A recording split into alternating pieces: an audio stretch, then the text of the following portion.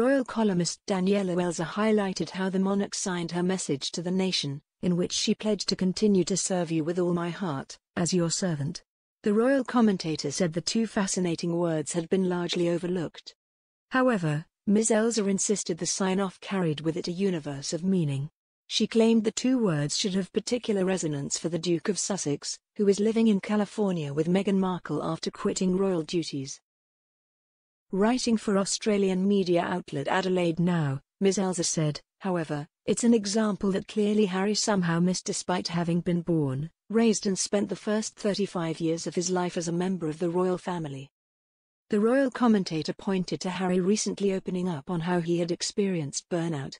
Speaking during an event for mental health company BetterUp last Friday, the Duke said he was literally getting to the very end of everything that I had, any fuel or any steam in the engine just like I was burning the candle at both ends. Ms. Elser said, Harry, for some reason, seems to exist in some sort of vacuum where he seems to feel permanently justified in telling the world, ad nauseum, how hard he had it back in his palace days. It is impossible to ignore the accidental study and contrasts we have been presented with thanks to Harry and the Queen in only 36 hours or so, the nonagenarian still intent on duty and who sees her position as a privilege and her persistently belly-aching grandson who seems intent on portraying his former life as one of abject drudgery.